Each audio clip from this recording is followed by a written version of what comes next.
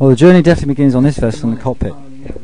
Um, from the helm of all helms, the impressive seating entertaining area behind you, and the great visibility. Um, from a seagoing vessel uh, point of view, um, the helm is in excellent position. Um, there's lots of instruments around you, good electronics on this vessel. It's 1982 um, Bertram 70, uh, which originally was a Bertram 58, and was extended by the previous owner, that's the current owner, um, at great expense, and it's certainly made a huge difference to the vessel um, both stability-wise and for room. You've got a crew coming down the back, a much bigger deck area, and also just walk up the steps to the back, sweeping palatially. Um, nice um, seating area there, full clears and covers, all in good condition. We sold it to the current owner two years ago. Unfortunately, for personal reasons, he has to sell it. Um, otherwise, he's a very proud owner, and he's certainly maintained it to a high standard. Um, it's just as good condition as when we um, sold it to him, perhaps slightly better, perhaps.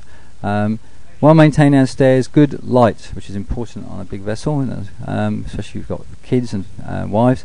They tend to like a lot of light, find boats claustrophobic otherwise. And this is like a big apartment, lots of light coming in, and of course there's blinds there if it's too much. Little chest set down there, that was with the um, boat when we sold it, and I'm presuming, I think the owner's going to sell the boat again. Um, lots of nice finishes on this boat. A lot of money over the years has been spent on this vessel, even though it's an, um, an older vessel.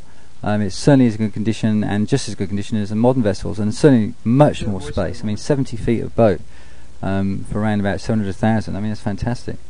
And um, it's not just um, 70 feet of boat fantastic, it's fantastic use of space.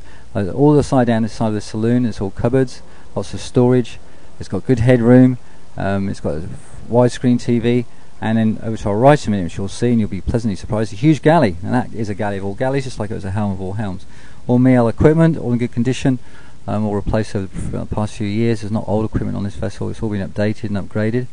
And that galley is down, which is great because I mean, even though a lot of people say the galley should be up, but the galley down, less movement. And uh, you know, this is the sort of vessel that goes out to sea. Certainly could take you around Australia, no problems. And um, the galley being down there rough seas is definitely an advantage.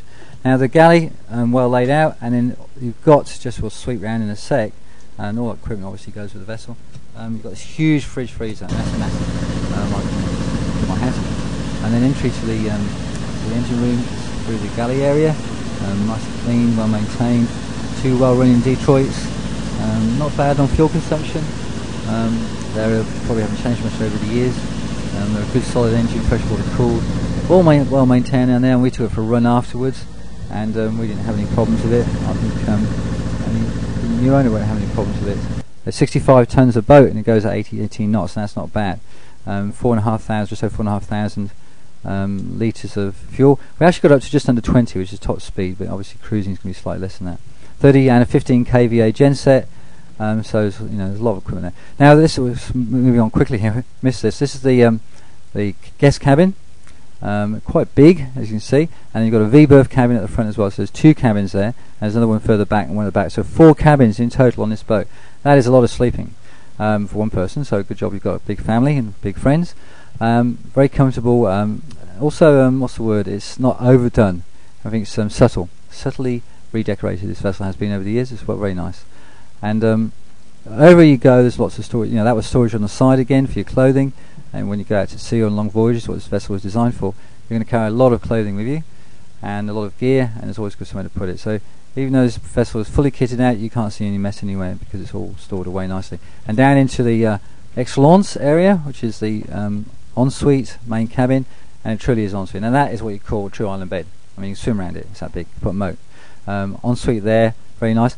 Now those taps are gold, and I'm sure somebody once told me they're gold plated, but I, I don't know. I mean, but certainly the previous owners spent over a million dollars on this vessel, refurbishing it. So whoever buys it now is getting the benefits of the past two owners who spent money on this vessel and well maintained. So it's not going to be one of those vessels where you know you've got to spend another load of money on, just a normal load of money. As you can see, um, changing room, closet, a uh, bidet area behind there.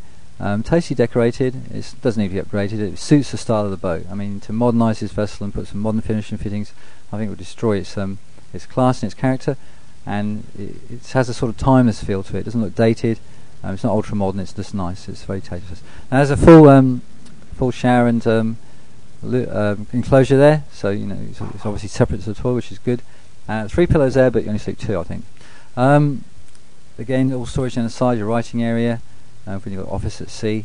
And I'm just trying to give you an, an idea of the spaciousness of this vessel as I roam around. um, trying to give you that feel because it's very hard from photos and actually on it to, you know, you get on this vessel and you just go wow, you know, and you walk down and you go even wow wow. So it's got two wow factors, one on its size and one on its classic condition. Um, and you know, you look at the price. I mean, what else? You know, when you look what you're going to buy for that, I mean, you're buying, you know, 42 Mustang sports cruisers, with great boats. Don't get me wrong. Um, you know, for like three or four hundred, and then the 46s um, for close on this price. And this vessel is certainly going to do a lot more island hopping and a lot more um, flexibility to it. And this would suit somebody who going around the islands. It would suit somebody overseas. You know, um, Indonesia, somewhere around there, um, New Zealand, certainly Tasmania. I mean, we just had an inquiry from Tasmania today on it. Um, it's that sort of vessel. It's beautiful out here in the lakes. So I've got to say, it's the first time I've been there, and um, it was just nice. And and, the, and also thank you for these sandwiches. They're very nice. Best bread I've ever tasted. Up into the flybridge. Um, again, it's a well laid out flybridge, good visibility. And that's the thing about Bertrams. They did think about their boats. From the very first 25 Bertram, the Timber one, uh, won a race, and Dick Bertram decided to build the mould from that, and on went the famous Bertram line. Dinghy davits, or I should say, um, jet outboard, and um, dinghy on the a 3.4 Nautica um, with 25 horsepower outboard, isn't bad. Um, again, you've got that visibility down there, just trying to give you an idea.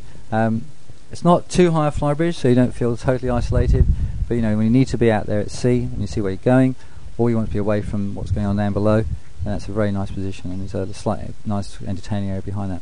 Again, you know, a lot of flybridges you go to, and they're very, you know, nothing's been maintained up there, nothing works. It all works here. I mean, this vessel's got GPS, autopilot, radar, aircon. Um, it's got the Miele stove, the oven, the ice maker. Um, I'm just reading off the spec sheet, which you can find on our website. Nice view there. We go down to that cockpit area where not so long ago, in this video, I was eating my um, beautifully um, fresh sandwiches. It's worth going there just a sandwich, believe me. And then walking down the side of the vessel, you know, nice, nice sized gunwale rail at good height, um, teak co- um, covered um, floor there, very nice deck. Um, the sunbathing for those that want it. Um, nice big anchor winch there, and as you walk around, you see it feels safe. It's you know, a slightly recessed walkway there. Now look at that, it's a beautiful view. Boat looks really nice from that angle. And uh, once we finished this video, we took it for a run. As I say, I couldn't really fault it. There was a leaking hose clamp. I mean, that's just normal stuff.